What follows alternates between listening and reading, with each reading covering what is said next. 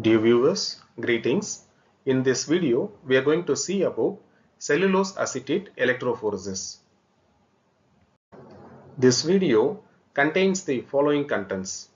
First, an introduction about cellulose acetate electrophoresis followed by principle of cellulose acetate electrophoresis, materials required for cellulose acetate electrophoresis, procedure for cellulose acetate electrophoresis, applications of cellulose acetate electrophoresis, advantages of cellulose acetate electrophoresis, and finally limitations of cellulose acetate electrophoresis.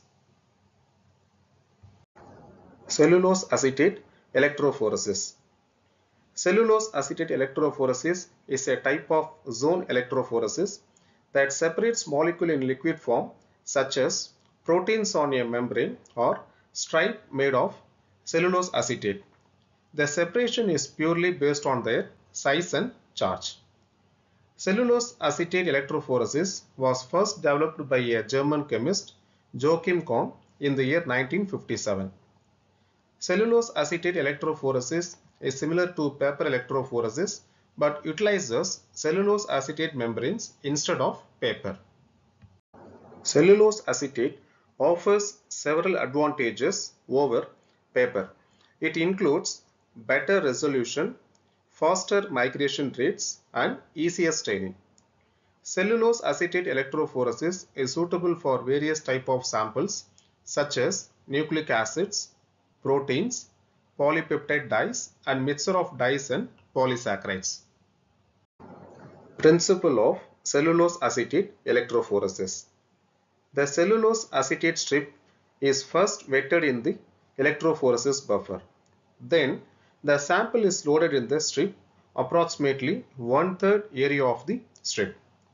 The end of the strip is in contact with the buffer with the help of a filter paper wick. The electric volt of 6 to 8 volt is provided in the strip for about an hour. The components are separated in the form of bands based on their charges. The positively charged substances move to the cathode and the negatively charged substances move to the anode. At the end of the electrophoresis, separated components can be stained and unstained for visualization purposes and for further quantitative analysis. Materials required for cellulose acetate electrophoresis. First, cellulose acetate strip or membrane. Cellulose acetate is a thermoplastic resin. The cellulose paper is acetylated by treating it with acetic anhydride.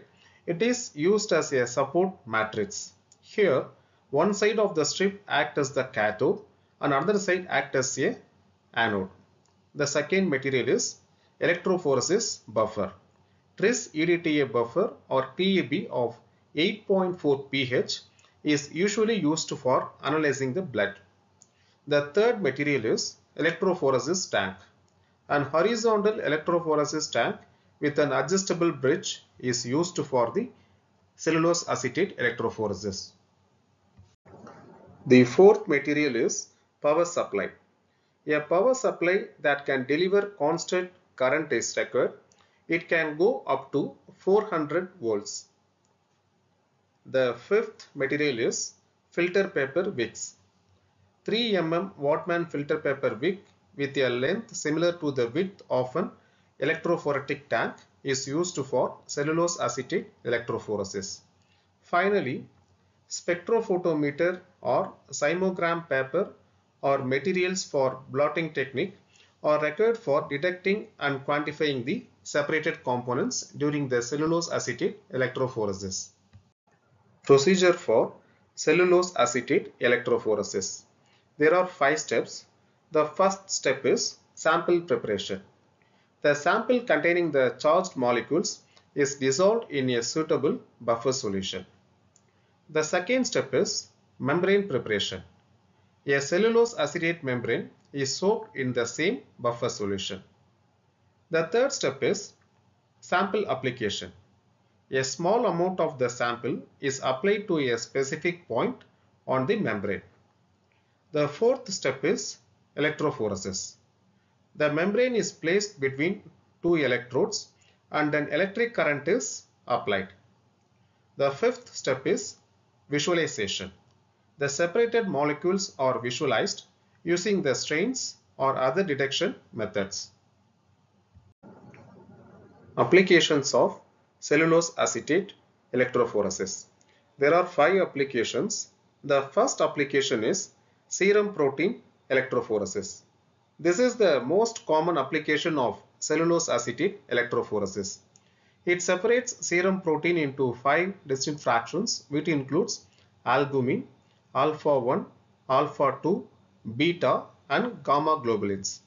This is very useful in the diagnosis of liver diseases, kidney diseases and multiple myeloma. The second application is hemoglobin electrophoresis.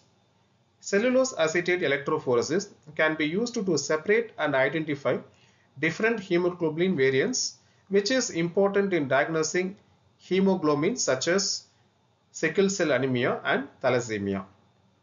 The third application is lipoprotein electrophoresis. Cellulose acetate electrophoresis is used to separate and analyze different lipoproteins in blood samples and helping in the study of lipid metabolism and cardiovascular diseases. The fourth application is isoenzyme electrophoresis. Cellulose acetate electrophoresis can differentiate isoenzymes and aiding in the diagnosis of certain diseases like liver or heart disorder. The fifth and final application is urine and cerebrospinal fluid protein electrophoresis.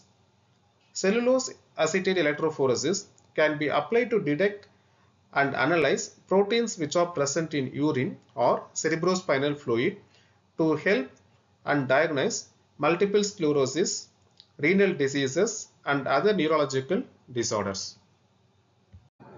Advantages of cellulose acetate electrophoresis.